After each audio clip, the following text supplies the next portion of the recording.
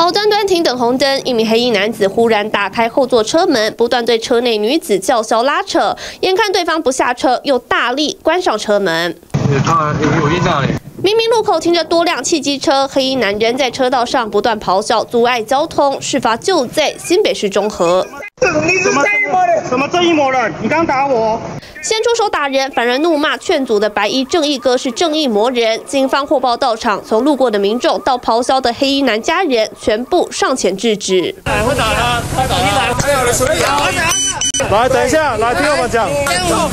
大姐啊，大姐，大姐，你搞，大姐搞共。二十三号深夜十一点多，这名五十三岁王姓黑衣男和家人到餐厅吃饭，坐着哥哥开的车准备回家，没想到行经中和中正路和圆山路口，两人疑似在车内发生口角，也不管旁边是否有车，就下车理论。哥哥只好把车停在路中央，一度造成后方交通回堵。一名骑士好心上前劝架，反遭攻击。我觉得这个行为就是。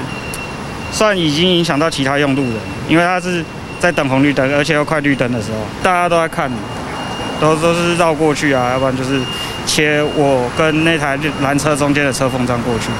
上一度被家人拉回车上，没想到又再冲下车，企图二度攻击。幸好这时候远警赶到现场，警民合作，一起把人带回派出所。热心的萧姓骑士今年二十一岁，因为在军中学过擒拿术，看到这种情况才会出手相助。只是事发地点车流量大，在路口争执叫嚣，也影响了其他路人。TVBS 新闻黄建国、苏佩宇新北采访报道，请支持 TVBS 国际 Plus 全新频道，让您扩大视野，掌握趋势，接轨全世界。恳请订阅。开启小铃铛。